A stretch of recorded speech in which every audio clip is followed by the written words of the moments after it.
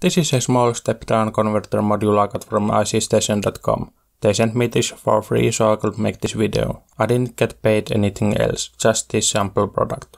If we look at the product page on the icstation.com, the link is in the description, we can see that this is quite efficient step-down module with wide input voltage range.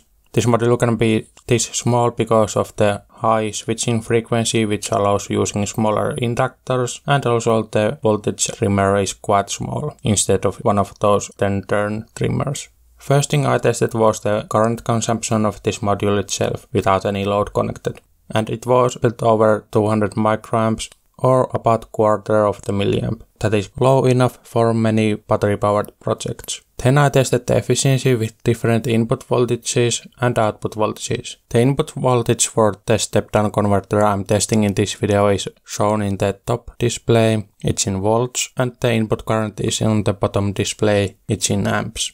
This shows the output current. This is the dummy load I'm using, and this shows the output voltage. The efficiency I saw was about 80 to 90%, which is good in my opinion.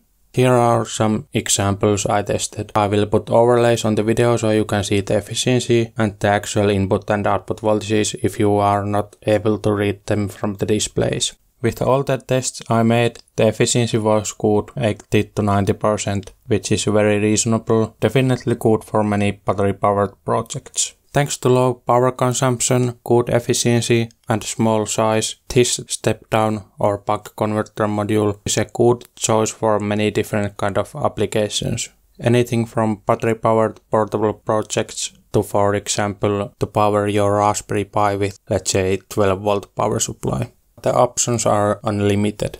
Here you can see the weight in grams if you want to use this for example in RC plane maybe or some other project where the weight might be an issue. So this video was quick test video of this step down module. I hope you like it. Don't forget to like this video, maybe subscribe for more videos and have a nice day. Bye.